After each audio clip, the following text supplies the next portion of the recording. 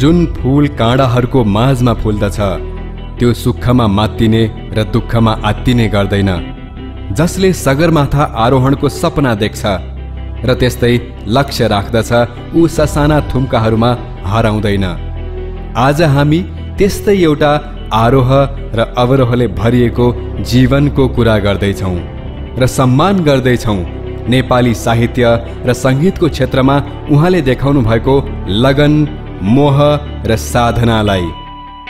उहाँको जन्म विक्रम सम्बत उन्नाइस सय उनान्सय चैत्र महिनामा भएको हो।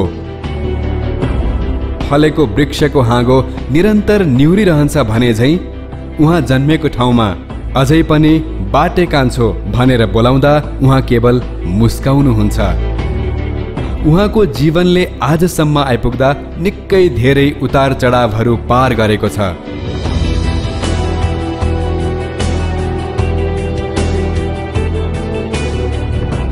जीवन चलाउन कविता लेखेर मन्दिरमा कविता नै गाएर पनि गुजारा चलाउनु परेको थियो।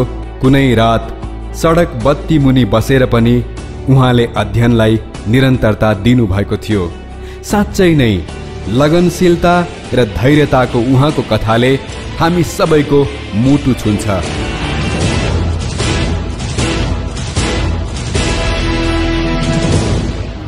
दुई हजार सोह्र सालको कुरा हो।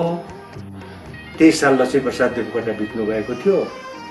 जानुभयो देवकोटा कवि नेपालीलाई टुहुरो पारेर भनेर एउटा झ्याउरे छन्दमा गीत लेखेर शोभा भगवती मन्दिरमा दसैँको दस नौ दिनसम्म त्यो बेलामा त्यहीँ पुलमा बसेर गाएर त्यो गीत बेचेर दसैँ चाहिँ टाढा हो चाहे मायालु प्रेमका भाव हुन् चाहे देश प्रेमका मिलन बिछोड सुख दुःख या भोक र शोक सबै भावसँग नजिकिएर अनुभवलाई शब्दमा उतार्न सिपालु यी कविले दुई हजार सोह्र सालदेखि नै गीत यात्राको सुरुवात गर्नुभएको हो। कहिले रहरमा बगेर कहिले प्रेममा तैरिएर उहाँको योगदानले नेपाली गीत आकाश केही फराकिलो अवश्य भएको छ।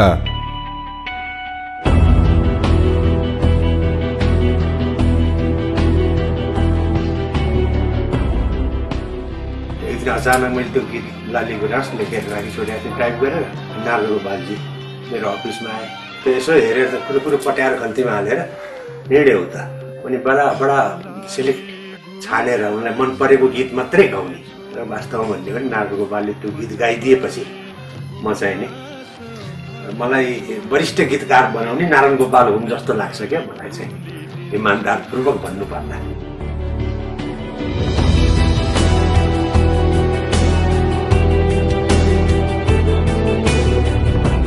कहिले काला पानी बन्छ गीत कहिले सगरमाथा बन्छ उहाँको गीत कहिले प्रेमले भरिन्छन् उहाँका भावहरू कहिले दुःखले सिङ्गारिन्छन् उमेरले सातौं दशक छोए पनि उहाँका कलमले गीत बनाउन शब्दहरू खोजिरहन्छन् र बुनिरहन्छन्।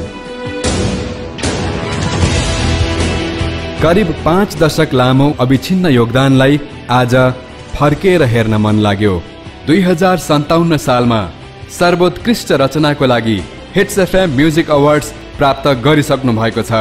साझा पुरस्कार छिन्नलता गीत पुरस्कार तथा अन्य सम्मानहरू प्राप्त गरिसक्नु भएको छ उहाँले। उहाँको ठुलो साधनाको यो कदर हाम्रो सानो प्रयास मात्र हो।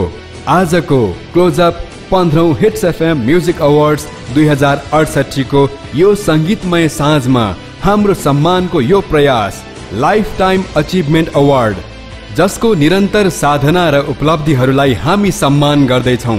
कवि तथा गीतकार क्षेत्र प्रताप अधिकारीज्यू।